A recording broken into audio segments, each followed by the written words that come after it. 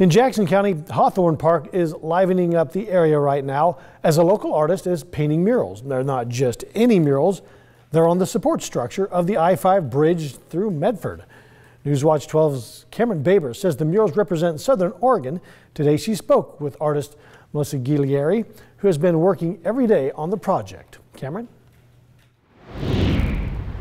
Well, Jerry, I can say that these murals are even more gorgeous in person. So the local artist, Melissa Guilieri, who's actually painting right now, right behind me, she submitted her work to the Medford Arts Commission. And with hope, they selected her and her artwork to paint three pillars underneath the I-5 bridge next to Hawthorne Park. So wanting to bring beauty and color and light to the area, she is doing exactly that after the City of Medford's Art Commission selected Melissa Guilieri's artwork for a mural painting next to Hawthorne Park, she got straight to work. There is a big difference between, you know, doing designs on paper and then having to uh, make them into this, uh, make them come to life into a huge painting. Having never worked on a boom lift or under a major freeway, this project has been quite the challenge for Melissa. This has has been the most challenging project I've ever done, just because of the space um, it, it's like a unique design, um, a place to paint. It's had challenges, but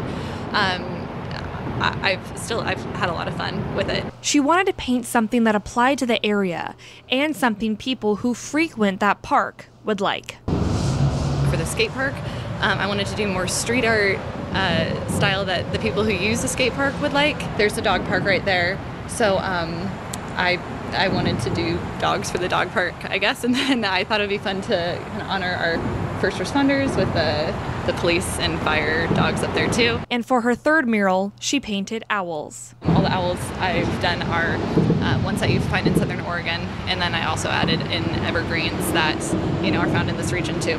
With about two weeks of work done, Melissa is out every day painting till the sun goes down. I'm just hoping that it will bring more people down to Hawthorne Park because I think Hawthorne Park has a lot of potential, and if we just get more people down here and using the greenway and using this area, I think that uh, it will be a lot nicer. And um, I think uh, bringing art into a space always kind of elevates it and makes it a nicer place With lots of surface to paint, she has other painters that help out. There's a, a lot of space to fill in, and so it, it helps to have extra hands, you know, rolling in color and everything. With Melissa's hard work and steady hand, she hopes to have them done pretty soon so people of the Southern Oregon community can enjoy her work as much as she does. I'm still excited about it, and uh, I'm excited to finish them so that and hopefully have people come down and enjoy them and everything. So Melissa says, you know, bringing art into a space always elevates the area and makes it a nicer place to be. She says, like, like she says, Hawthorne Park has a lot of potential and she really wants to bring her art to bring light and beauty to the area.